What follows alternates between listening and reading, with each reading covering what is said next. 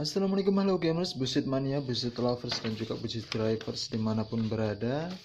Salam juga buat teman-teman pecinta game simulator nyetir Android di mana pun berada juga. Uh, Kali ini kita ketemu lagi uh, dengan Mbak Lili Suryani ya yang ada di Tangerang, Banten.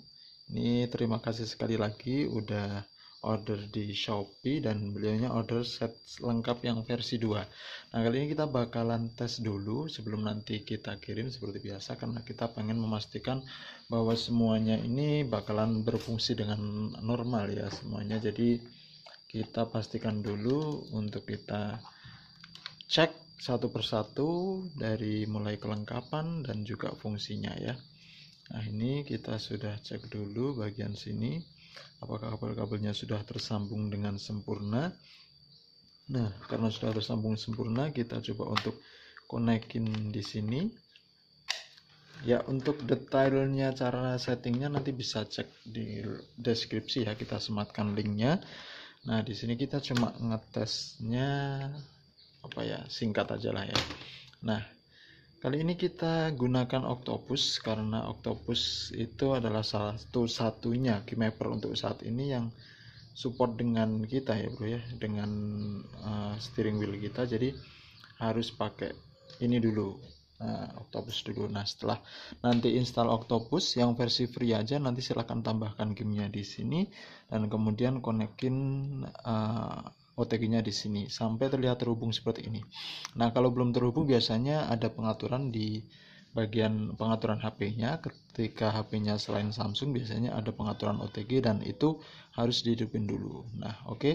Setelah nanti terhubung seperti ini silahkan nanti langsung ke gamenya, ke busit.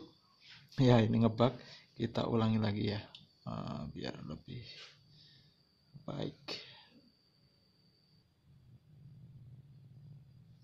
Oke, ketika udah masuk di game seperti ini, kita ke setting layap aja, kemudian lanjutkan.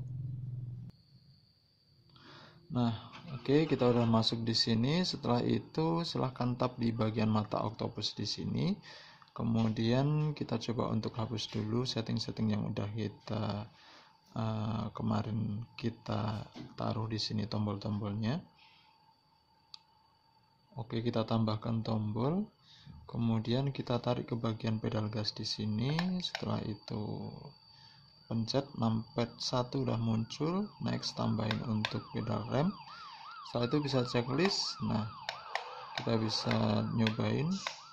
Sudah berfungsi untuk pedal gas dan pedal remnya. Next kita tambahkan untuk persnelingnya kita bakalan coba untuk maju ini untuk nambah gigi nanti. Kemudian untuk ngurangin giginya kita tarik tasnya ke belakang. Nah oke. Okay. Lalu kita bisa simak di sini ketika kita pindahkan atau tambahkan gigi nanti akan kelihatan itu di 3 di 4 untuk ke belakang nanti ngurangin gigi.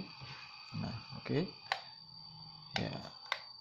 Oke okay, sudah berfungsi ya pedal gas pedal rem dan juga persnelingnya setelah itu kita coba untuk nambahin atau kita bakalan nyoba satu persatu fungsi dari tab sini ya di apa tombol-tombol yang bisa di custom sini. Misalnya tab divide space. 8 5 6 add enter 3 2 1 nah di sini kita bisa customize misalnya ini untuk klakson ya jadi ketika kita pencet dot ini nanti jadi klakson. Nah, ini ada banyak sekali tombol di sini nih bisa difungsikan untuk misalnya wiper, buka pintu dan lain sebagainya.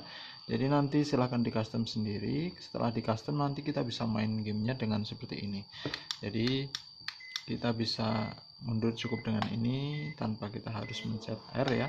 Kemudian kalau klakson misalnya dengan ini, kalau misalnya telolet dengan uh, yang lainnya atau lampu atau misalnya nanti pilih-pilih ganti kamera juga bisa. Nah silahkan di customize sendiri. Terima kasih sekali untuk uh, Mbak Lilis Suryani yang ada di Tangerang Banten. Mudah-mudahan cepat sampai di sana dan mudah-mudahan kalau untuk YouTube nanti ya channel YouTube-nya sukses. Dan kalau untuk nanti Facebook streaming mudah-mudahan Facebook streamingnya juga cepat level up. Oke sekian. Thank you. Assalamualaikum